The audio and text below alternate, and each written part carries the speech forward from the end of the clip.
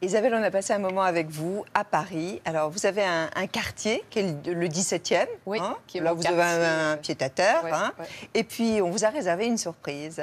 Une surprise de taille. D'autant qu'il pleuvait. Oui, mais bon, ça me fait pas très peur, la pluie. Ouais, bah oui, j'imagine. bon, c'était au mois de juin, pourtant c'était il, y a- il y a, il y a 48 heures ou il y a 3, jours, je crois. Ouais. Et, euh, et il pleuvait, mais à trombe.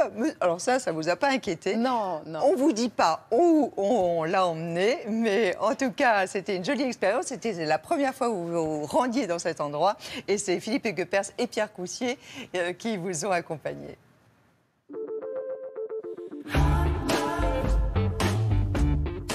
On est dans le 17e et, et je pense que je m'y suis attachée à ce quartier-là parce que c'est le premier quartier dans lequel j'ai vécu euh, à Paris.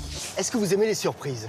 J'adore les surprises. Je suis vraiment comme une enfant. J'ai gardé ça, euh, cette espèce de, de capacité d'émerveillement. Premier indice, Mhm. on va se mettre au vert. Est-ce qu'on sort un peu de Paris? Oui?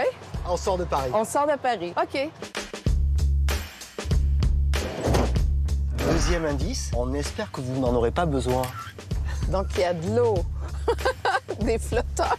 Est-ce qu'il y a des étangs, Des lacs. des lacs? Est-ce qu'on va au bois de Boulogne? oui, oui! Ah, je rêve d'y aller. Est-ce qu'on s'en va faire de la barque? Oui! Ah, je suis contente. Là, on entend la pluie, mais on devrait être... euh, ça va, je suis capable de braver les intempéries. Si on n'avait pas des, moments de tourmente, euh, si on n'était pas euh, un peu bousculé, je pense qu'on serait pas en mesure d'apprécier autant. Voilà, il y a de l'orage. Il y a du tonnerre, des éclairs. Et puis après, il va y avoir une éclaircie, puis on va trouver ça encore plus beau. Ah, c'est beau.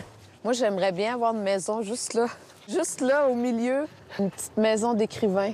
Peut-être que je me mettrai à écrire à un moment donné. Vous êtes quelqu'un de solitaire? Assez, ouais. J'ai grandi avec euh, le vent en pleine face, donc je suis capable d'en prendre. Vous êtes quelqu'un de solide. Je suis assez solide. Je suis une personne euh, extrêmement sensible, hyper sensible, mais assez inébranlable.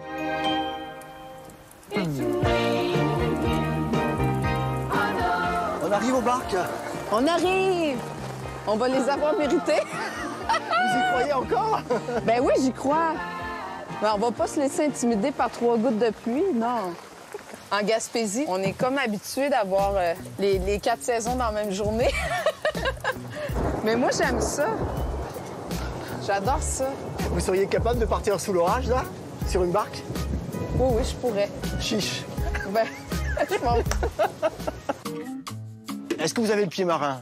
Ben, je pense que oui. J'ai le pied marin, le cœur marin, tout. J'ai un tatouage avec une encre de bateau. Voilà. Il représente quoi? Ben, les ancrages, euh, mon fils, les mille marins que j'ai faits dans ma tête. Parce qu'on voyage beaucoup dans nos têtes aussi. Ça demande de l'entraînement quand même. Hein? J'ai pas beaucoup de coordination, mais j'ai beaucoup de volonté. Des gros poissons! Ils sont énormes! Mon Dieu, j'ai peur. Là, il pourrait m'arriver un malheur, là.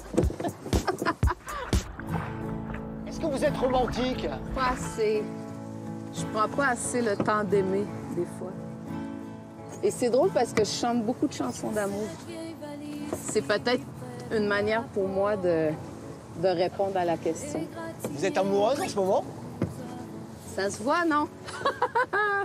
tous les trains, tous les bateaux, tous les avions ne m'emmèneront jamais assez loin.